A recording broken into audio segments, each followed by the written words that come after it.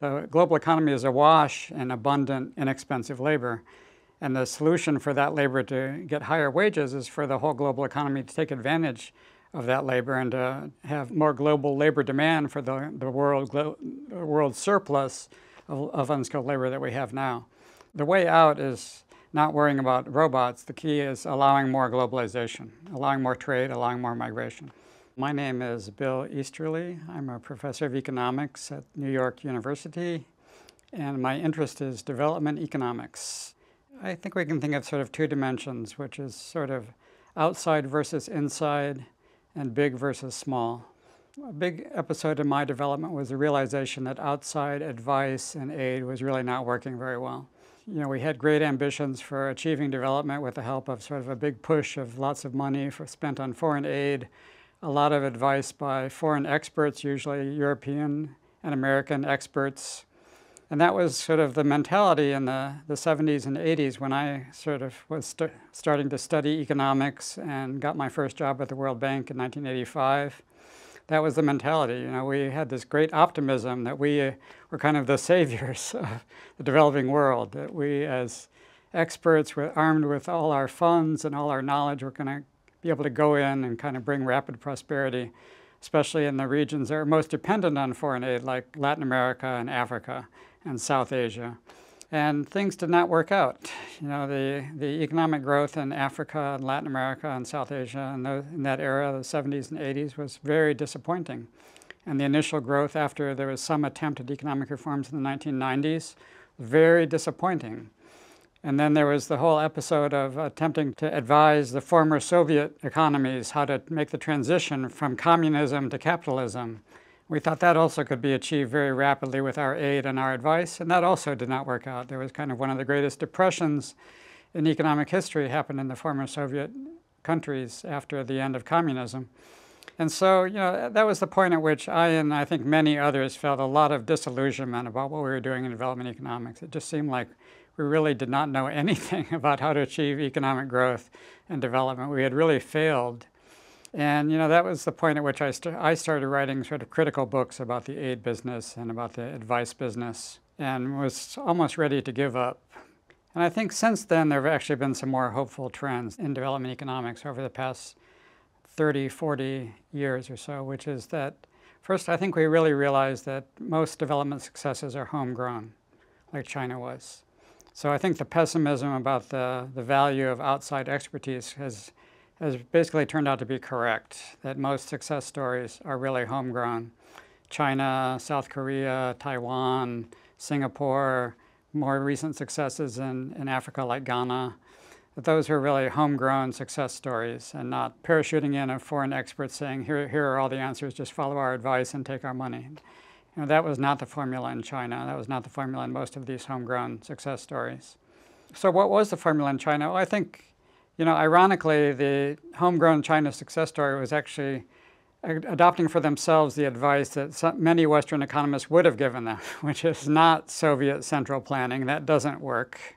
I think China is itself one of the greatest examples of just how big a failure the sort of Stalinist Soviet central economic planning was. And then China showed us the flip side of that. When you, when you move away from central planning to a market economy, then suddenly you have a, a great formula for success. When you have a lot of you know, hardworking, unskilled workers that are now available that you can now use to export labor-intensive goods into the whole world economy. The simplest formula that sort of explains China's success and a lot of other successes around the world is just get away from extreme state control to using markets as, as your main guideline for how to develop, and then take advantage of the globalized world economy. Because, you know, poor countries are poor because they have too much unskilled labor that is too cheap. That's one of the big reasons why they're poor. So you take all that unskilled labor and it's, if, you, if it's confined to only the domestic market, the demand for it is going to be fair, fairly low and it's going to stay, wages are going to stay very low. If suddenly you can sort of dump the whole supply of your unskilled labor onto the world market, suddenly you've found a huge demand for your unskilled labor that drives the wages up of your unskilled labor. This is sort of like trade theory 101. If you export labor-intensive goods, that will increase the demand for your labor force. Per capita income will go up and you will have economic growth and development. And that's sort of the simplest story for how China succeeded. They moved away from closed to open, they moved from centrally planned to market. There are lots of more subtleties that we could talk about, but that is the big formula that China demonstrated. The happy news is that developing countries have done a great job figuring out their own, their own challenges and solving them. I think one of the biggest ones, especially in Africa and Latin America, was finding a way out of this sort of extreme authoritarian, sort of extreme state interventionist control of the economy that was really destroying the economy. If you take Ghana as an example, so Ghana, after independence in 1957, actually carried over some of the colonial controls over the export economy. They had a marketing board that bought up all of the cocoa at punitive rates that did not reward cocoa growers for growing cocoa at a time when Ghana had been the largest supplier of cocoa on the world market. And that was a formula that, that basically killed off the whole cocoa industry in Ghana over the 60s and 70s and early 80s.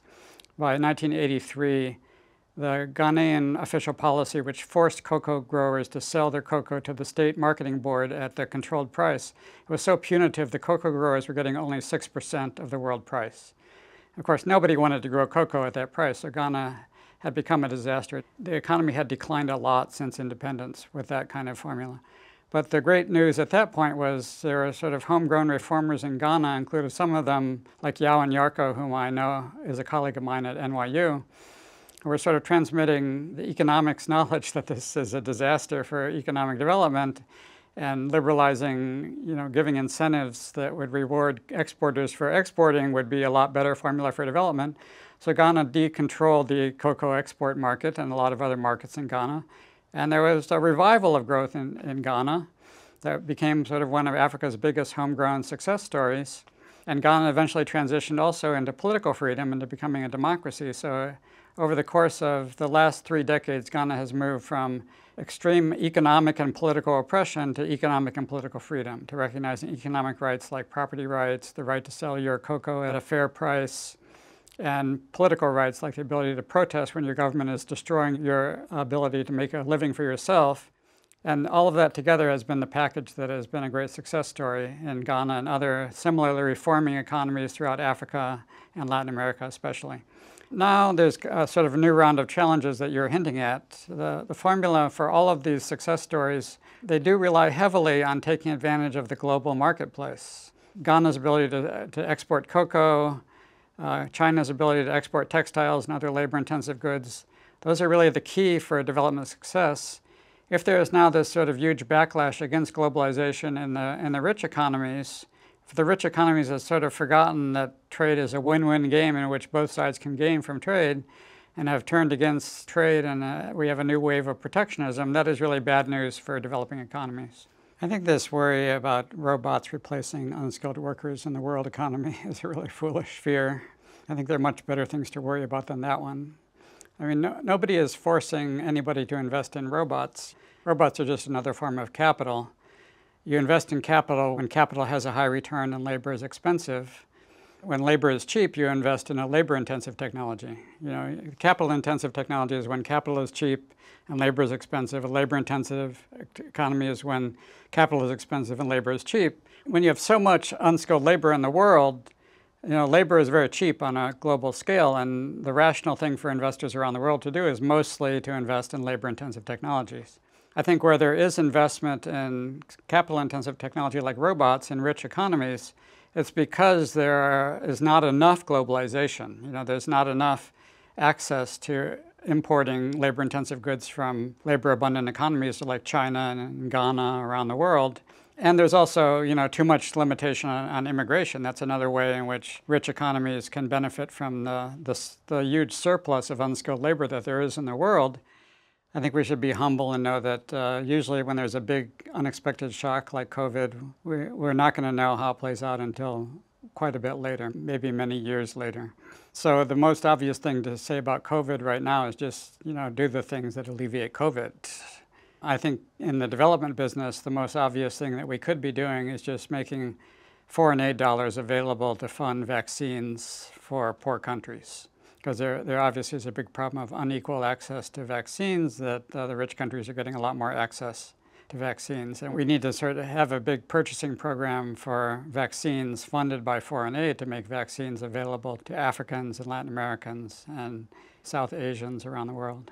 You know, I think there's way too much development effort going now on very tiny questions, you know, especially emphasizing randomized controlled trials. Randomized controlled trials are great. They really resolve problems of causality and, and rigorous evidence. But they really limit you to very tiny questions that you can ask. You know, what is the effect of flip charts on test scores? What is the effect of deworming drugs on class attendance? And, you know, those are not the big questions in development. The big questions are how do you achieve rapid economic growth? How do you achieve some success like China? How do you achieve more modest success like Ghana's? Those are the big questions. So we, we need more intelligent research that's asking what national policies are conducive to rapid economic growth, that's a question that's been relatively neglected in recent years because it's less susceptible to the, the more rigorous evidence techniques that are in fashion right now. But it's such an important question. We, we're not going to stop discussing it just because we don't have rigorous enough evidence. We just do the best we can with the, the facts that we see before us. And so, you know, most of those facts seem to indicate that national policies are very important. You know, Venezuela is a disaster because of national policies. Singapore is a success because of national policies. You know, under, understanding those better and you know, kind of getting more subtle about what specific national policies really destroy or, or make possible economic success, those are the big things that I wish uh, development students from the next generation would be answering.